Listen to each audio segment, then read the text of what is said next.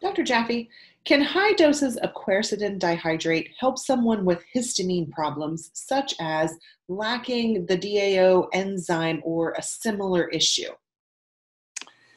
Well, the the uh, the headline, the short answer, is yes. Quercetin dihydrate and soluble OPC, the preferred flavonoid and flavonol that we have in Pain Guard and in Repair Guard, are known to be a number of things, including natural antihistaminic. They decrease the sensitivity of cells that, when exposed to histamine, they release their contents, their granules, their neurochemicals, and hormones, and things like that.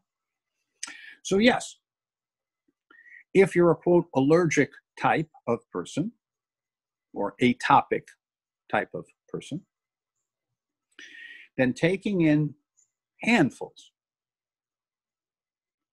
of these polyphenolics, quercetin dihydrate and soluble OPC, can reduce, not eliminate, but reduce that excess histaminic activity, hives, wheezes, itching, in the worst case, anaphylaxis. Um, and quercetin dihydrate and soluble OPC are zinc ionophores. Boy, that's important. And they do other things like get the immune, the innate immune system back up and active. That's important.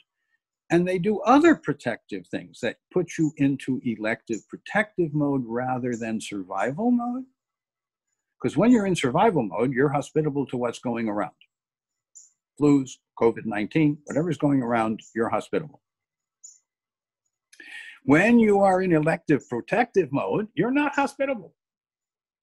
We recommend the latter, not the former, and quercetin dihydrate and soluble OPC are so helpful when you take them in their fully active, more bioavailable form that we pioneered in the late 80s and have continued to make available to this day. So yes, quercetin dihydrate, and yes, soluble OPC, and yes, the polyphenolics that are safer and more effective are better, including in their role of protecting cells from excessive release and activation.